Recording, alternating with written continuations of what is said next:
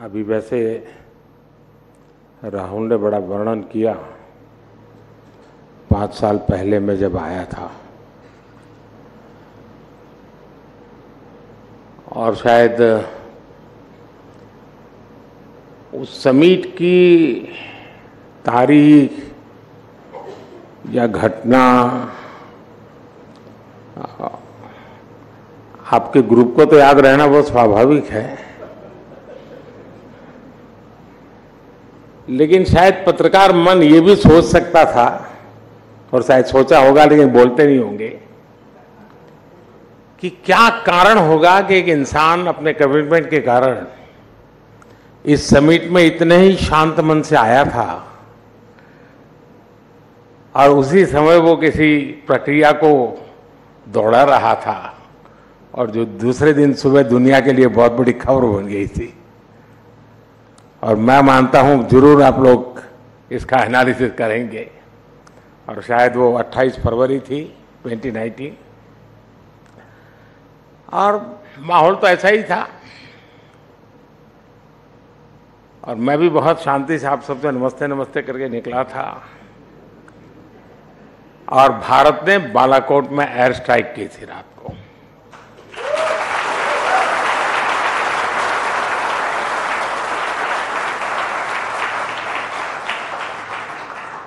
और वो एक दिन था और एक दिन आज है। और आपने देखा होगा कि आतंक के सरगना हो या विकास और शांति की चाहत रखने वाले देश हो सबने राइजिंग भारत अनुभव किया है।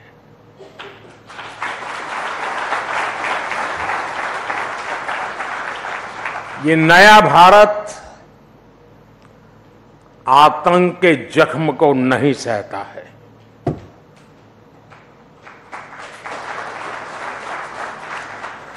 बल्कि आतंक के जख्म देने वालों को पूरी ताकत से सबक भी सिखाता है।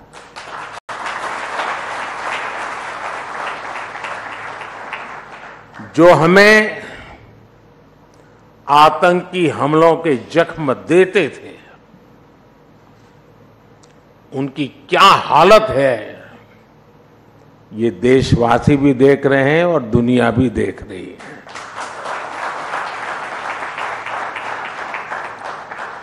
एक सुरक्षित राष्ट्र ही एक विकसित राष्ट्र का आधार होता है। और आज यही भारत की पहचान है और यही राइजिंग भारत है। साथियों, चुनाव का मौसम है। चुनाव की सरगर्मी बिल्कुल सर पर है। तारीखों का ऐलान भी हो चुका है। आपकी समिट में भी कई लोगों ने अपने विचार रखे हैं। डिबेट का माहौल बना हुआ है। और मैं मानता हूँ लोकतंत्र की यही खूबसूरती है। देश में भी धीरे धीरे चुनाव प्रचार ज़ोर पकड़ रहा है।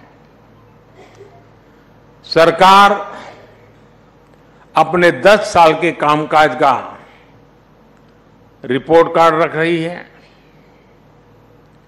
हम अगले 25 साल का रोड मैप बना रहे हैं और अपने तीसरे टर्म के पहले 100 दिन का प्लान भी बना रहे हैं।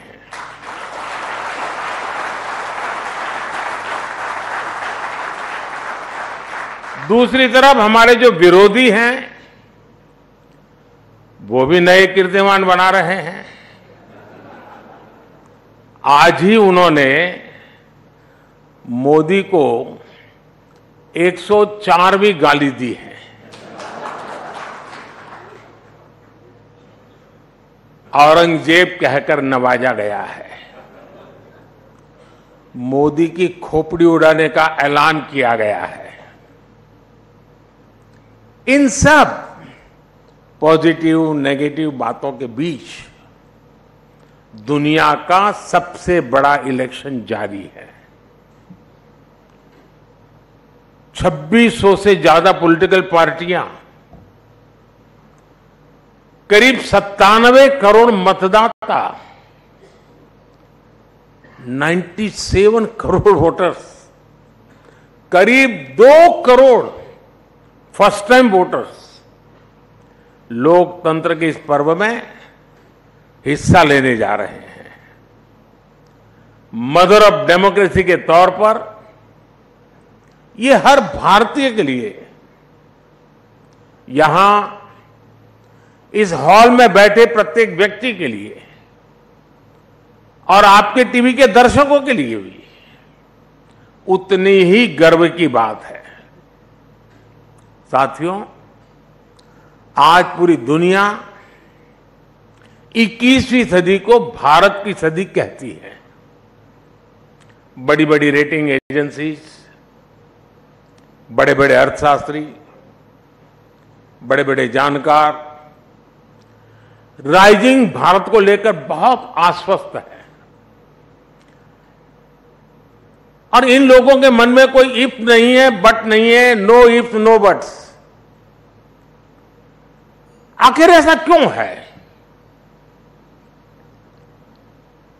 कोई सवालिया निशान नहीं, ऐसा क्यों है?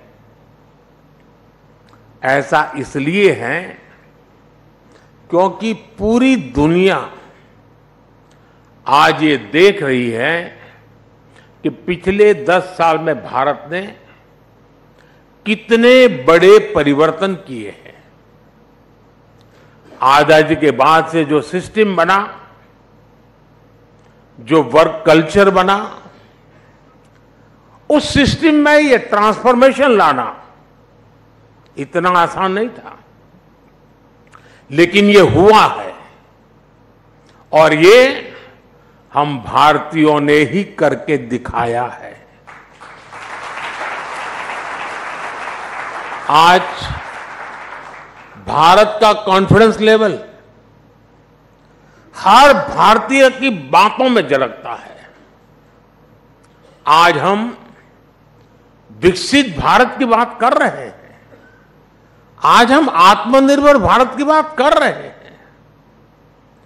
और लोग चाहे विपक्ष में हो, देश के भीतर हो या देश के बाहर हो, सब भारत की उपलब्धियाँ देख रहे हैं।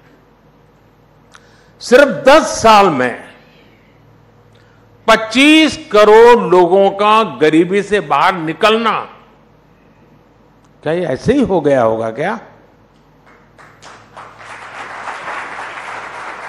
सिर्फ़ 10 साल में भारत का ग्यारहवें नंबर से पाँचवें नंबर की इकोनॉमी बन जाना, क्या ऐसे ही हुआ होगा क्या? सिर्फ़ 10 साल में भारत का फॉरेक्स रिज़र्व बढ़कर के 700 बिलियन डॉलर के पार हो, पहुँच जाना ये क्या ऐसे ही हुआ होगा क्या? सिर्फ़ 10 साल में भारत का एक्सपोर्ट 700 बिलियन डॉलर पार कर जाना क्या ऐसे ही हुआ होगा? और ये तो अभी कुछ भी नहीं है। अभी तो और भी आगे जाना है।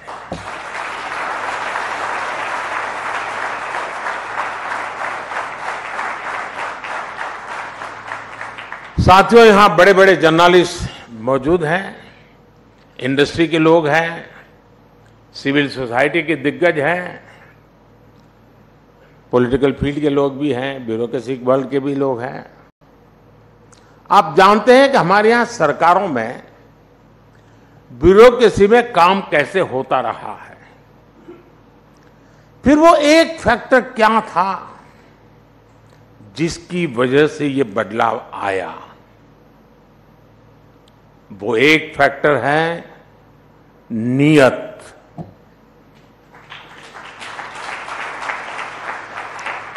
नियत सही तो काम सही।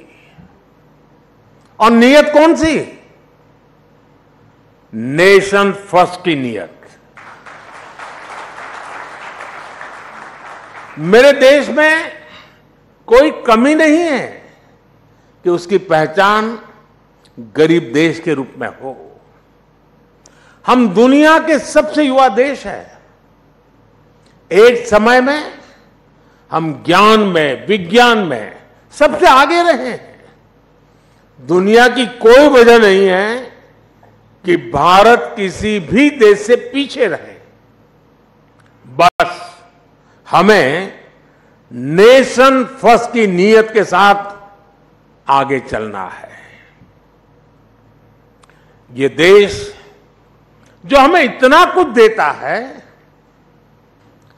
हम उसमें सिर्फ़ रहते हैं या फिर देश के लिए कुछ अलग करते भी हैं, ये फ़र्क बहुत बारीक है। लेकिन बारीक सा फ़र्क ही देश को आगे ले जाता है। जिस दिन आप अपने काम को देश के साथ जोड़ लेंगे, आप जो कुछ भी हैं, आप डॉक्टर हैं, इंजीनियर हैं, स्टार्टअप शुरू कर रहे हैं, जिस दिन आप अपने काम को देश के लक्ष्यों के साथ जोड़ लेंगे तो समझ लीजिएगा कि नेशन फ़र्स्ट का बीज आप में अंकुरित हो गया है।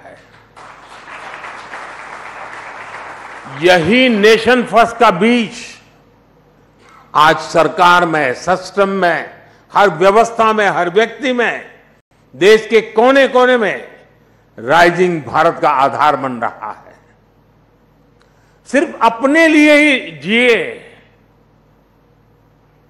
सिर्फ़ अपने लिए जिए तो क्या जिए? जीना है तो देश के लिए और मरना भी है। तो देश के लिए। साथियों 2014 से पहले और आज की स्थिति में एक और ऐसा अंतर आया है जिसकी उतनी चर्चा नहीं होती। ये चर्चा देश की साख से जुड़ी है। जिस देश की साख गिर रही हो उस देश के लोगों का स्वाभिमान भी ऊँचा नहीं रह सकता। 2014 के पहले भारत के साथ क्या स्थिति थी? आप याद कीजिए 2014 से पहले घर घर में भ्रष्टाचार बड़ा मुद्दा था। देश की साख गिर रही थी, लेकिन तब की सरकार झूठे तर्कों के आधार पर अपने घोटालों को डिफेंड करने में जुटी रहती थी। आज स्थिति एकदम अलग है। आज सरकार भ्रष्टाचार पर कड़े एक्शन ले रही है। जो एक्शन लिया, उसका हिसाब दे रही है। और भ्रष्टाचारी झूठ बोल बोलकर खुद बचाव की मुद्रा में है। तब देश पूछता था कि पावरफुल लोगों पर ईडी, सीबीआई जैसी एजेंसियाँ एक्शन क्यों नहीं लेती? ये सवाल पूछा जाता था। आज पावरफुल और भ्रष्ट लोग पूछ रहे हैं कि एजेंसियाँ उन पर एक्शन क्यों ले रही है?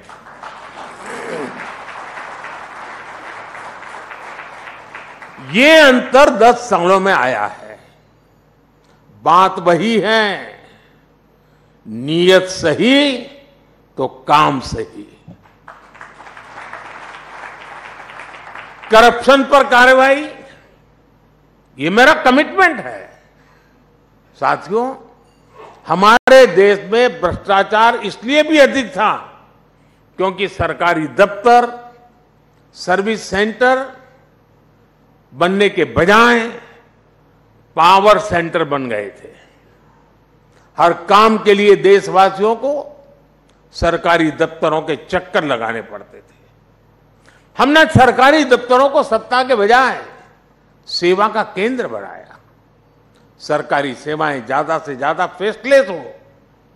बिल से लेकर टैक्स जमा करने तक की अधिकतर सेवाएँ ऑनलाइन हो। हमने इसका प्रयास किया। आज सरकार की ज़्यादातर खरीद जैम पोर्टल के माध्यम से होती है। आज सरकार के टेंडर ऑनलाइन होते हैं। आप याद करिए 2G जैसी सामान्य सुविधा के लिए पहले की सरकार में कितना बड़ा भ्रष्टाचार हुआ। अगर उस दौर में 5G आता तो पता नहीं ये क्या क्या करते। साथियों पहले के समय में भ्रष्टाचारी बहुत दिमागी तिकड़म लगाते थे। हमारी सरकार ऐसे भ्रष्टाचारियों का इलाज टेक्नोलॉजी से भी कर रही है। आज भ्रष्टाचारियों की धरपकड़ आसान हुई है। आज मनी ट्रेल को छुपाना और कैश को छुपाना दोनों मुश्किल होते जा रहे हैं। और इसलिए कभी किसी सरकारी बाबू के घर से, बिस्तर से, दीवारों से नोटों की गड्डियाँ निकलती हैं। कभी किसी कांग्रेस के सांसद के घर से सैकड़ों करोड़ के नोटों के ढेर निकलते हैं। कभी किसी टीएमसी के मंत्री के घर से नोटों के ढेर निकलते हैं। इसलिए चारों तरफ़ बौखलाहट नज़र आती है। बिलबिलाए हुए हैं। और ये सब होता क्यों है? बात वही है। नियत सही तो काम सही। साथियों, आप में से जो सीनियर है, उन्होंने वो दिन भी देखे हैं, जब देश के एक प्रधानमंत्री ने कहा था कि दिल्ली से एक रुपया भेजता हूँ तो सिर्फ़ पंद्रह पैसा गरीब गाँव गाँव के गरीब तक पहुँचता है। यानी सरकारी खजाने से पैसा निकल रहा था, लेकिन वो किसी और की जेब में जा रहा था। ये ऐसा भ्रष्टाचार था जो सीधे सामान्य जन को प्रभावित करता था। मनरेगा का पैसा सरकारी खजाने से निकलता था लेकिन मजदूर को मजदूरी नहीं मिलती थी। गैस की सब्सिडी किसी और के खाते में पहुँच जाती थी। अपनी स्कॉलरशिप पाने के लिए भी रिश्वत खिलानी पड़ती थी। दस साल पहले तक जो सरकार में थे, उनको ये सूट करता था, उनकी राजनीति को ही सूट करता था। लेकिन साथियों, हमने सरकारी खजाने की इस लूट को पूरी तरह से बंद कर दिया। हमने जनधन, आधार और मोबाइल की त्रिशक्ति बनाई। हमने डायरेक्ट बेनिफिट ट्रांसफ़र डीबीटी के माध्यम से 34 लाख करोड़ 34 लाख करोड़ रुपए सीधे लाभार्थियों के बैंक खाते में पहुँचाए। अगर पहले वाला हाल होता और एक रुपया और पंद्रह पैसा वाली थियरी होती तो 27-28 लाख करोड़ रुपए गरीबों तक कभी पहुँचते ही नहीं, कहीं और चले जाते। सत्ताईस, अट्ठाईस लाख करोड़। अलग अलग योजनाओं के करीब 10 करोड़ फर्जी लाभार्थी। वो लोग जिनका कभी जन्म नहीं हुआ था लेकिन कागजों पर वो ज़िंदा थे। योजनाओं के हकदार बन गए थे। हमने ऐसे 10 करोड़ फर्जी नाम हटाए हैं। इसका मतलब उसका बेनिफिट लेने वाले लोग, क्या मोदी का जय जयकार करेंगे क्या?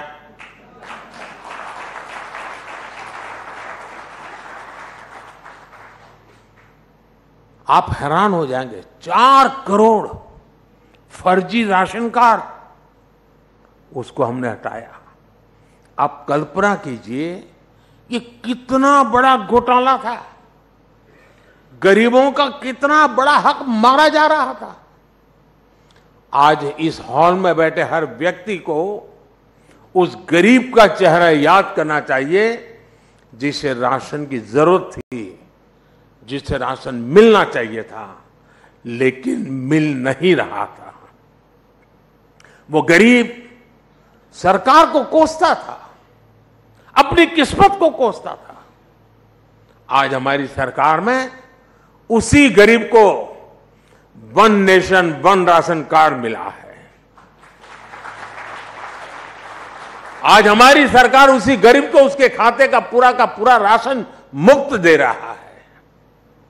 आज वो गरीब जब मुझे आशीर्वाद देता है तो विपक्ष के मन में गालियाँ फूटती हैं। मेरे लिए भी गालियाँ।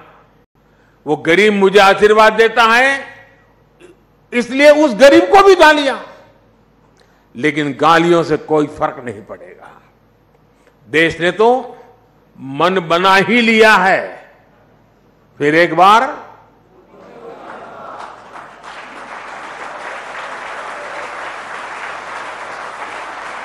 फिर एक बार, साथियों, हमारी सरकार ने पहले दिन से ही अपनी गवर्नेंस को गरीब की गरीबा गरीब के कल्याण और गरीब के सशक्तिकरण पर केंद्रित रखा है।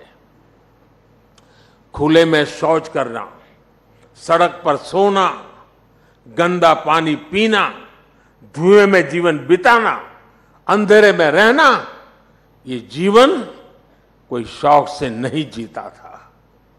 परिवार का सदस्य बीमारी के कारण बिस्तर पर पड़ा हो, मदद के बदले ठोकरें मिलती हो, कोई रास्ता न सूझे, यही स्थिति थी। आप सोचिए, आए दिन अपमान कैसे कितने घूट गरीबों को पीने पड़ते थे। यहाँ बैठे बहुत से शायद जीवन की कल्पना भी नहीं कर सकते हैं कि कैसा जीवन था। लेकिन मैं ये सब कुछ अनुभव करके यहाँ पहुँचा हूँ। मैं उस ज़िंदगी को जी करके आया हूँ। इसलिए मुझे किताबों में नहीं पढ़ना पड़ता और न ही कैमरा के माध्यम से वीडियो शूट कर करके देखना पड़ता है।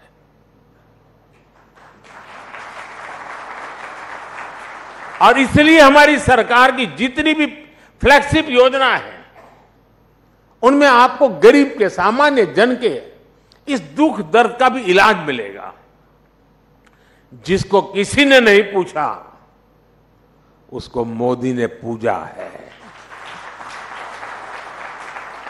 साथियों, आप में से बहुत लोगों को पता नहीं होगा कि एक बैंक खाता खोलने के लिए भी गरीब से गारंटी मांगी जाती थी। लोन की बात तो छोड़ दीजिए। देश के एक बड़ी आबादी जो भूमिहीन थी, उसे भी ऐसे ही छोड़ दिया गया था। 80 प्रतिशत से अधिक किसान, जिनके पास दो एकड़ भी ज़मीन नहीं थी, उन्हें भी अपने नसीब पर छोड़ दिया गया था। करोड़ों नौजवानों के लिए बैंक के दरवाजे बंद थे, क्योंकि उनके पास भी गारंटी नहीं थी। जिनके पास किसी को देने के लिए कोई गारंटी नहीं, उनकी गारंटी मोदी ने ले ली। इसी भावना ने मुद्रा योजना को जन्म दिया। इसके तहत लगभग 30 लाख करोड़ रुपए 30 लाख करोड़ रुपए हमने बिना गारंटी गरीब युवाओं को दिए हैं। इसी भावना ने सेल्फ हेल्प ग्रुप के अभियान को गति दी, जिससे आज 10 करोड़ बहनें जुड़ी हैं। इसी भावना ने रेडी ठेले, फुटपाथ पर काम करने वालों के लिए पीएम स्वनिधि योजना को जन्म लिया। इसी भावना ने हाथ के कौशल से आजीविका कमाने वालों के लिए पीएम विश्वकर्मा योजना को जन्म दिया। इसी भावना से छोटे किसानों के लिए पीएम किसान सम्मान निधि को जन्म दिया। इसके तहत उन्हें करीब तीन लाख करोड़ रुपए मिले हैं। कल्पना कीजिए, अगर नीयत न होती, मोदी की गारंटी न होती तो क्या होता?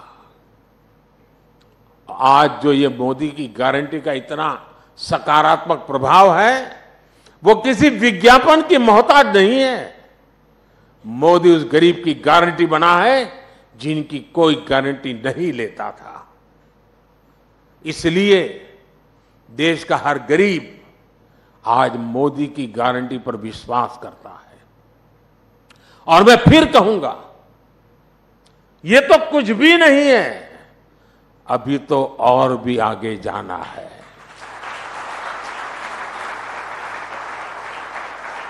साथियों, हमारे देश में लंबे समय तक राजनीतिक उपेक्षा का बहुत बड़ा शिकार देश का मिडिल क्लास भी रहा है। आप में से ज़्यादातर मेरी बात से को रिलेट कर पाएँगे। मिडिल क्लास का मतलब है वो वर्ग जो कठिनाइयों से लड़कर आगे तो आ गया, लेकिन उसके आगे सपनों और आकांक्षाओं का एक विशाल संसार होता है। लेकिन मिडिल क्लास के सामने पहले चुनौतियाँ भी कम नहीं थी। टैक्स का जंजाल, बच्चों की पढ़ाई का दायित्व उन्हें अपने से बेहतर बनाने का तनाव, हर छोटे बड़े काम के लिए सरकारी दफ्तरों के चक्कर, महँगे लोन का बोझ, एक तरह से पहले जीवन के हर दायरे में समस्याएँ ही समस्या थी। ऐसे में मिडिल क्लास का जीवन तीन जरूरतों के इर्द गिर्द सिमट जाता था। एक अपना घर बनाना, दूसरा बच्चों की शादी हो जाए, और तीसरा बच्चों को कहीं नौकरी मिल जाए। उसका जीवन बस इसी आधार पर सिमट जाता था। पिछले दस वर्षों में हमने मिडिल क्लास को मुसीबतों में बांधने वाली हर बेड़ी को तोड़ दिया है।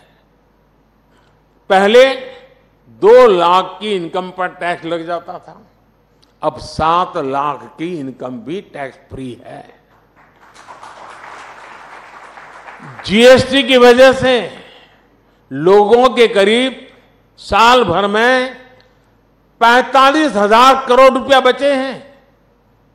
बीते दस वर्षों में होम लोन पर इंटरेस्ट रेट भी कम हुए हैं। पर्सनल लोन के इंटरेस्ट रेट भी कम हुए हैं। पीएम शिवकन्या समृद्धि जैसी योजनाओं का लाभ सबसे ज़्यादा मध्यम वर्ग को मिल रहा है। साथियों मध्यम वर्ग का एक बहुत बड़ा सपना होता है, बच्चे की अच्छी पढ़ाई। इस दिशा में भी पहले की सरकारों ने मध्यम वर्ग की आकांक्षाओं का ध्यान नहीं रखा। आज हमारी सरकार देश में तेज़ी के साथ एजुकेशन इंस्टीट्यूट खोल रही है। बीते दस साल में हर दिन भारत में दो नए कॉलेज बने, प्रतिदिन, डेली दो नए कॉलेज। और हर हफ़्ते एक नई यूनिवर्सिटी बनी है। देश में रिकॉर्ड संख्या में नए आईआईटी, आईएम्स और मेडिकल कॉलेज खुले हैं। 2014 तक देश में 400 भी से भी कम मेडिकल कॉलेज थे लेकिन उनकी संख्या 10 साल में 700 तक पहुँच गई है। 2014 में पूरे देश में सिर्फ़ पचास हज़ार एमबीबीएस सीट थी। आज देश में एमबीबीएस सीटों की संख्या बढ़कर एक लाख से ज़्यादा हो गई है। मेडिकल में पीजी की सीटें भी दोगुनी से ज़्यादा हो चुकी है। सरकार ने स्थानीय भाषा में मेडिकल और इंजीनियरिंग की पढ़ाई का जो निर्णय लिया है, उसका भी फ़ायदा मध्यम वर्ग के बच्चों को मिला है। हमारे मिडिल क्लास परिवारों के हज़ारों करोड़ रुपए अपने बच्चों को बाहर किसी देश में पढ़ाने में खर्च हो जाते थे। ये पैसे बचे, इस दिशा में भी हमारी सरकार काम कर रही है। आज दुनिया के एक से बढ़कर एक विश्वविद्यालय, यहाँ भारत आकर अपना अपना कैंपस खोलना शुरू किया है। फॉरेन यूनिवर्सिटीज की मदद के लिए सरकार ने नियमों में भी बदलाव किया है। साथियों, बीते दस साल में जो नए सेक्टर खोले गए हैं, उन्होंने भी मध्यम वर्ग के बच्चों के लिए आगे बढ़ने के नए रास्ते बनाए हैं। स्पेस सेक्टर हो, स्टार्टअप हो, ड्रोन और मैपिंग सेक्टर हो, इन सबको नौजवानों के लिए खोल दिया गया है। डिफेंस सेक्टर में भी रिफॉर्म करने से हमारे नौजवानों को नए अवसर मिल रहे हैं। स्पोर्ट्स सेक्टर में भी हमने जो आधुनिक इंफ्रास्ट्रक्चर बनाया था ट्रांसपेरेंसी पर जो काम किया, उसने भी नौजवानों के लिए नए अवसर बनाए हैं। अभी हमने जो पीएम सूर्यघर मुफ़्त बिजली योजना शुरू की है, उससे भी बड़ी संख्या में रोज़गार और स्वरोजगार के नए अवसर बनने वाले जा रहे हैं। और उसके कारण मध्यम वर्ग का बिजली का बिल ज़ीरो होने वाला है। मध्यम वर्ग का एक और बड़ा सपना होता है, शहर में अपना घर। लेकिन आप जानकर हैरान रह जाएँगे कि शहर में रहने वाले मिडिल क्लास के लिए पहले की सरकारों में एक भी योजना नहीं थी। मध्यम वर्ग के घरों के लिए पहली योजना अगर किसी सरकार ने बनाई तो हमारी सरकार ने बनाई। हमने मध्यम वर्ग के लोगों को घर के लोन में सब्सिडी दी, ब्याज में राहत दी इस पर करीब पचास हज़ार करोड़ रुपए हमने खर्च किए। इसका भी बहुत बड़ा लाभ मिडिल क्लास परिवारों को मिला है। उनके अपने घर का सपना पूरा हुआ है।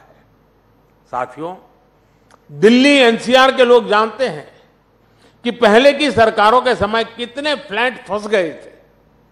लोग किराए के घरों में रहते थे, ईएमआई भी भरते थे और अपने घर के पुराने पूरा होने के इंतज़ार में जीवन पूरा कर रहे थे।